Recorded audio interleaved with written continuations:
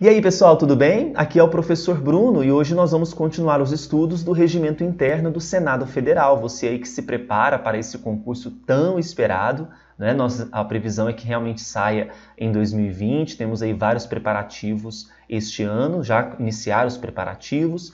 Pensando no regimento interno, nós vamos lançar ainda essa semana o curso de questões comentadas inéditas sobre o regimento.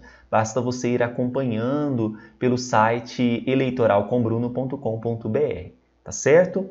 Vamos hoje falar sobre dois artigos, 23 e 24, onde nós abordaremos a questão do desacato.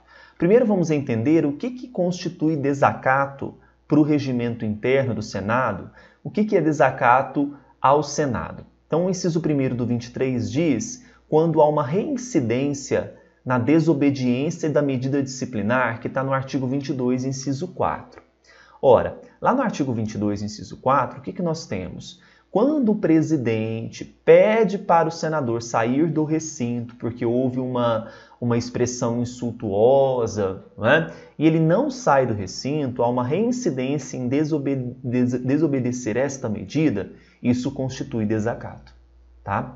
Outro ponto que pode constituir desacato é quando há uma agressão, seja por atos ou palavras, praticadas por senador contra a mesa diretora ou contra outro senador nas dependências da casa. Tá? Então, pode ser um ato, pode ser mesmo uma agressão verbal que é praticada por aquele senador contra aquela mesa diretora do Senado ou contra um outro senador. Essas, tanto o inciso primeiro quanto o inciso segundo, constitui, constitui, portanto, desacato no Senado. Quais são as medidas que são colocadas quanto ao desacato. O artigo 24 diz que deverão, deveremos proceder da seguinte maneira. O segundo secretário, a banca ela pode falar para você que é o primeiro, mas é o segundo secretário, por determinação da presidência do Senado, lavra um relatório detalhando o que, que aconteceu. Então, o segundo secretário lavra, faz um relatório ali bonitinho, detalhadinho sobre o ocorrido. Cópias autenticadas do relatório são encaminhadas aos demais membros da mesa diretora e aos líderes, que em reunião convocada pelo presidente vão decidir, vão deliberar. Pelo arquivamento do relatório, ah, não faz sentido o que está aqui nesse relatório, não foi assim que aconteceu, vamos arquivar. Tá.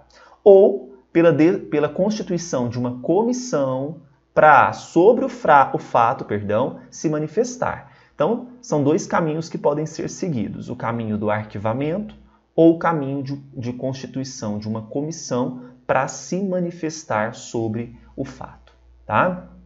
Bom, se for constituída a comissão, de posse desse relatório, ela vai se reunir no prazo de duas horas, a partir da sua constituição, a fim de eleger o presidente desta comissão, que vai designar um relator para a matéria.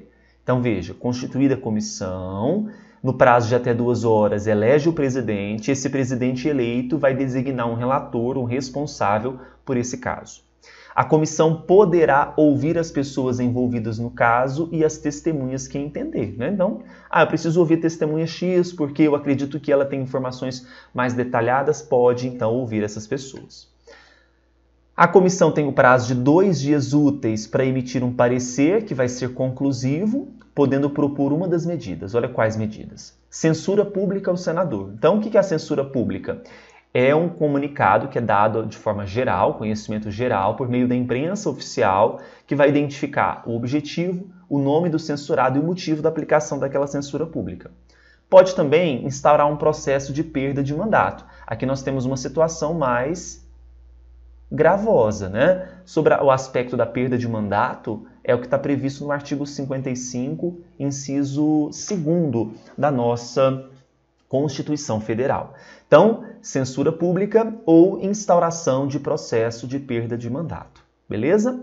Aprovado pela comissão, esse parecer ele vai ser encaminhado à mesa para o procedimento cabível no caso. Beleza?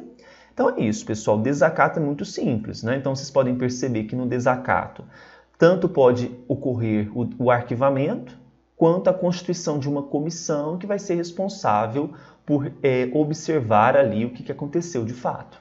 Né? Se você ficou com dúvida, você pode mandar por e-mail, você pode me procurar pelo Insta, arroba professor Bruno Eleitoral, se você não segue, me siga, e curta o vídeo, incentiva aqui o professor. Desejo a todos bons estudos e até o próximo vídeo. Tchau, tchau!